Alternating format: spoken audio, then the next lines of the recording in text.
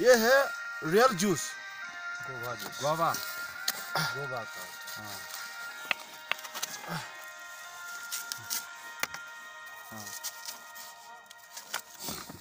ये है।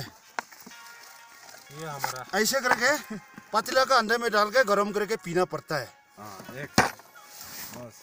हमारे से भी नहीं उसके बाद। हाँ बोलो ना अभी। ये आई मारने से भी ये नहीं टूटता है। हमारे से मरने के बाद भी टूटता नहीं है। उसके बाद ग्लेशियर में अंडा आता है। ये है। पत्थर का जैसा। आदमी का भी नहीं पता नहीं है। ये देखो।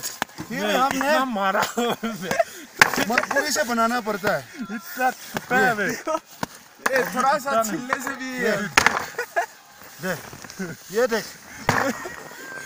ये है। ग्लेशियर का अंडा। ग्लेशियर में ये भी। फिर आलू बनाना है तो हमने काट नहीं सकता है। सबसे पहले उसको पानी में उबलेगा। उसके बाद ही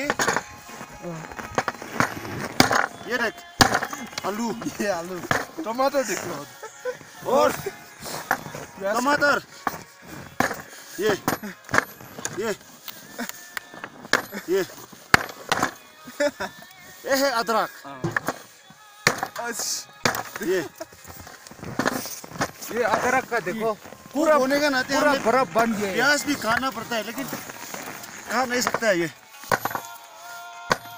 ऐसे होना पड़ता है। इसलिए ग्लेशियर में नौकरी करना इतना आसान भी नहीं है क्योंकि यहाँ पे माइनस चालीस से सत्तर तक टेम्परेचर डाउन हो जाता है। तब इंसान जो है जीना हराम हो जाता है। ये देख अंडा का। यू ये देख ये ये अंडा तोड़ रहा है। ऐसे। ये देख।